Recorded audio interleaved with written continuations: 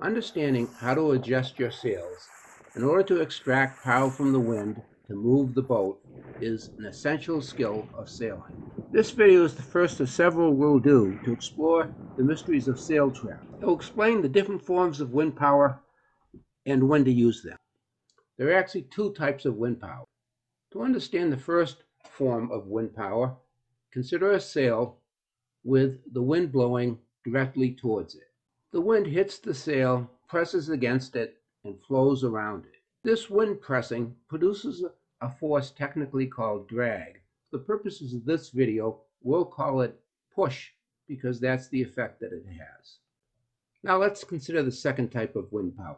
Consider a sail oriented so the wind approaches it at an angle. If the sail is oriented at the correct angle, the wind flows smoothly past both sides of the sail and that smooth flow of air by both sides of the sail produces a force termed lift. Lift produced by the smooth flow of air by both sides of a curved sail is the same power as that produced by an airplane wing.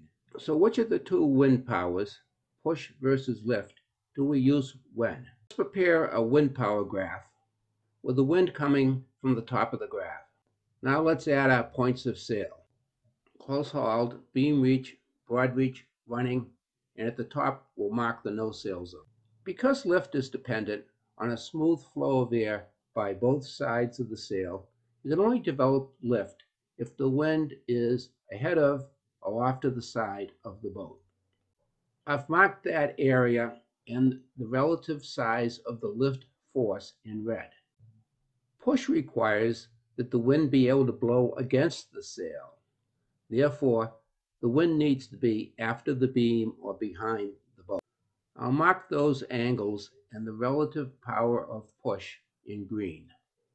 So let's simplify this graph. I'll outline the lift wind angles in red and the push wind angles in green, then eliminate the interior contents. And then we have a simple graph that answers the question, of push versus lift. If the wind angle is close hauled to just after a beam reach, you want to trim for lift. If it's after a beam reach to running, you want to trim for push. And that's the basics of how to harness wind power.